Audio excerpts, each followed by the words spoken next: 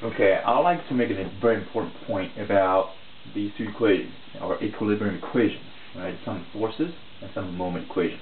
Okay. Well, sum forces obviously have just forces in them, and sum moments also have forces in them. The moment defined R cross F, right? And these forces are all external forces, okay? Which means they're external to the to the free body to your rigid body that you're considering.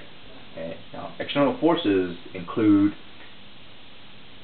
weight, for example, okay, due to the mass of the object.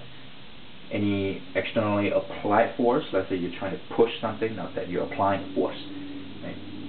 or force uh, in a cable, right? So there's tension. You're trying to pull uh, the cord. Know, that's tension force, also applied force.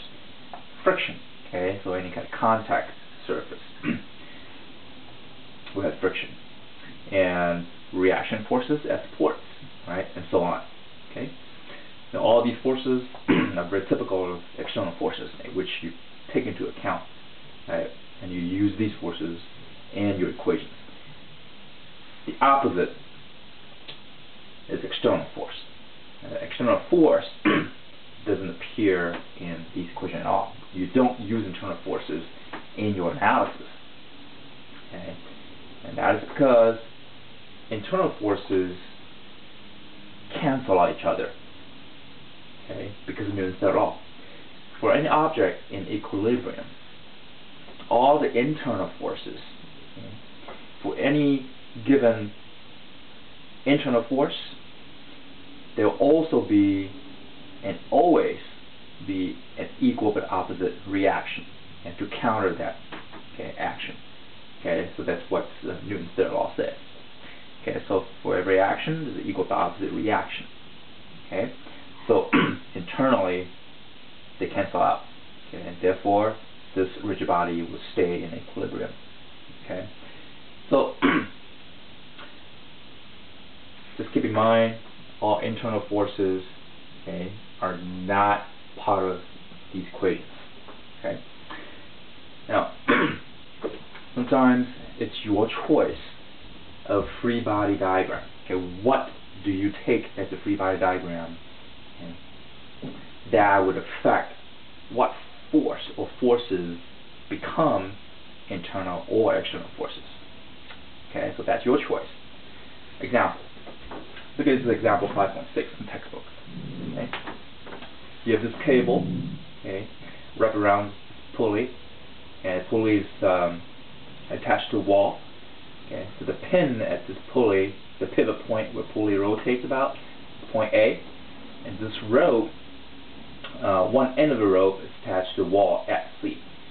At the other end of the rope, okay, you apply a 100 pound force pulling it down. Okay, and this side is you know, vertical. Okay? On the other side, it's a 30 degree angle. Okay? Now you're asked to find the reaction forces at A. Okay, a reaction force at A. Okay, vector. Okay.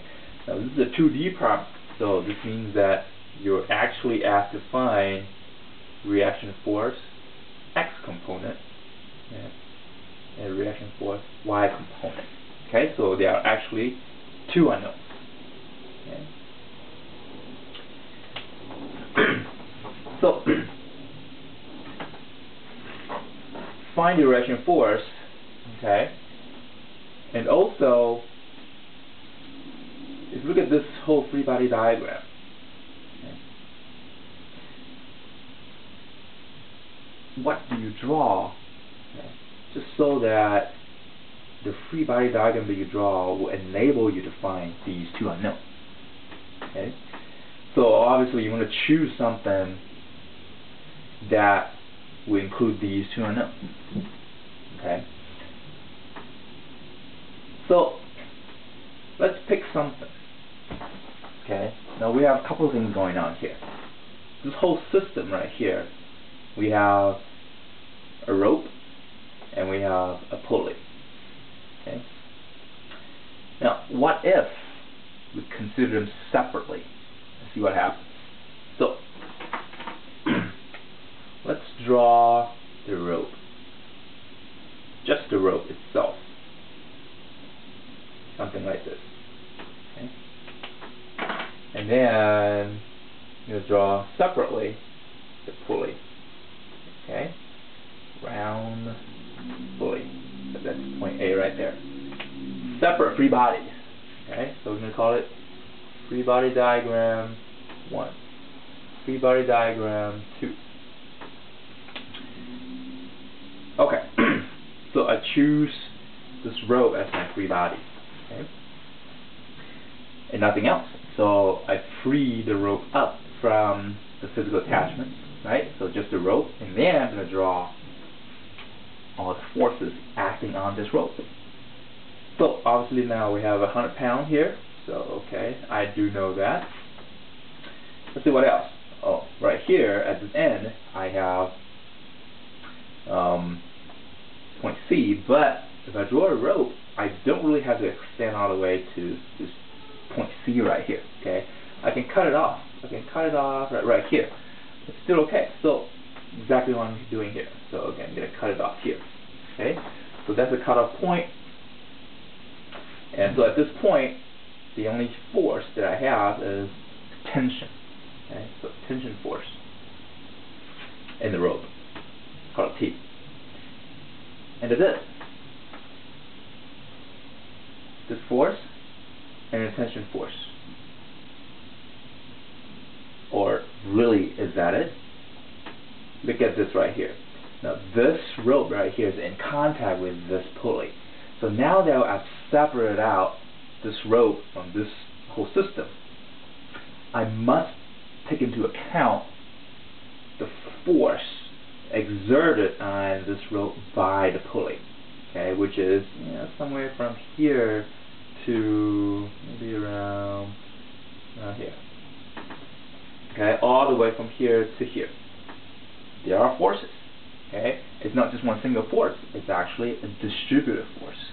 Okay, continuous force. Right? So it's actually coming this direction, something like this. Okay, so the force is actually perpendicular to each and every point okay, along this rope. Okay, now these forces pressure, pressure force. Okay? So the magnitude of that, well, we don't know. Right? And what kind of distribution, we don't know either. Okay? Alright, so there are lots of unknowns here. Okay? The force distribution, right? Force is a force function. Okay? So it's not a single number. Okay? Force vector. So that's my free body diagram 1. Now obviously this is no good. Okay, now first of all, we have this other unknown, tension, T. And we have this force, distributive force, okay, which is also unknown. Okay? And third of all, our A and our RAX and our don't appear in this free body diagram at all. So this is useless. Okay? Okay, maybe move on to free body diagram 2. What about just the pulley? Well, look at that. For this pulley, sure, now we have RAX, okay, RAY. I don't know the direction, okay, I know if it's positive or negative, okay, X and Y, so I'm just going to assume a direction, okay, so to the right and go up, that's fine. What else? Well, since I've isolated this pulley okay, from the whole system, I also must take into account the force exerted on this pulley by the rope. Okay? And that's exactly the opposite of this right here. So coming from here okay, right to here, so the force will be something like this. Okay? is pressure force. Okay. Look at this right here. So this free diagram has two of these unknowns that we're trying to look for. Okay, but we also have this unknown distributive force here, which is a big, big unknown. Okay. So it's useless too, because we don't know how to find this. If you look at these two together, this force right, and this force, they are equal but opposite. Okay, this force, this distributive force, goes up that way. Okay, this right here goes back down that way. What if we combine these two, right? Combine them, and what happens to these? This guy right here will cancel out this guy, okay? This guy will cancel out, let's say, this guy, okay? So when superimpose, these two become internal to the entire system if you combine the two. Okay? Whereas individually, if you draw this row by itself, this distributive force is considered an external force. Therefore, I just drew it right here on this free body diagram because it is ex external force, right? external to this rope, exerted by the pulley on the rope. Similarly for this right here. But if you combine them, they become internal.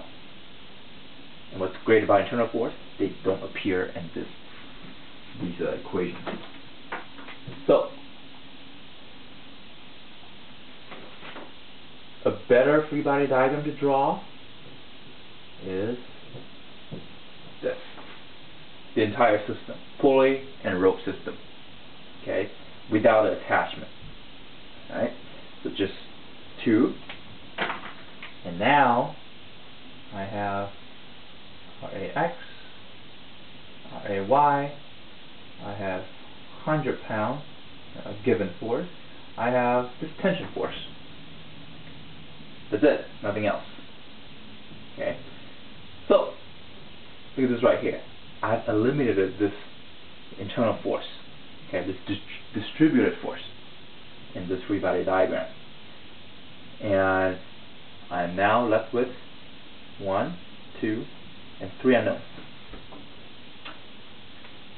And three unknowns, I have three equations, exactly right here. Okay, 2D problem, so x and y.